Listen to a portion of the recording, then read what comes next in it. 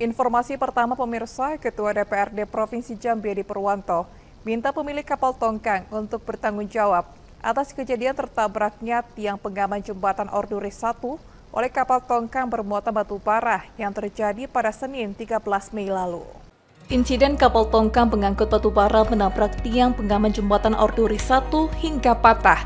Ditanggapi serius oleh Ketua DPRD Provinsi Jambi Edi Purwanto, Terkait hal ini, Edi Purwanto minta pemilik kapal tongkang bertanggung jawab atas tragedi yang terjadi pada Senin lalu yang menurutnya fatal.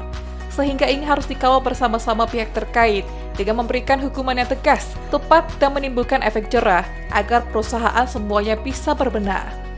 Edi Purwanto menyebut bahwa kajian ini perlu dilakukan mengingat jembatan Orduri 1 menjadi akses darat penghubung kota Jambi dan Moro Jambi yang juga menjadi jalur utama dengan keramaian masyarakat berkendara melintasi jembatan Orduri. Harapan saya, mari dong para pengusaha juga menumbuhkan rasa memiliki terhadap Jambi, sense of belongingnya itu. Jadi apa itu fasilitas umum yang sudah kita punya jangan dirusak, adanya malah kita perbaiki sebenarnya. Dan saya minta itu betul-betul dipastikan pengerjaan perbaikannya itu bagus, berkualitas dan cepat.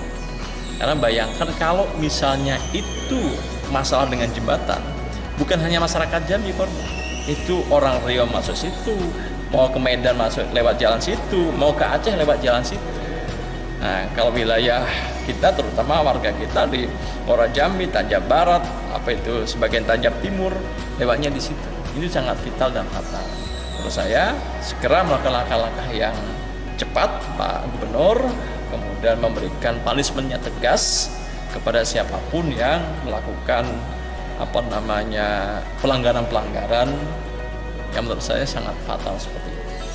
Sementara itu, Edi Purwanto meminta kepada pemerintah untuk melakukan evaluasi terhadap kapal-kapal tongkang yang saat ini melakukan aktivitas di jalur Sungai Batanghari.